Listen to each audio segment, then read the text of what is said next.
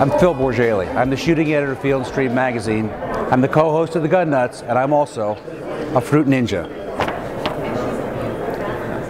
My turkey season prospects just got a whole lot brighter because now with these new gloves, I can wait for a turkey with my gloves on and still play Fruit Ninja. These are hunting gloves, but they've got a coating on the thumb and the forefinger that's touchscreen compatible, so you can leave your gloves on and still slice fruit.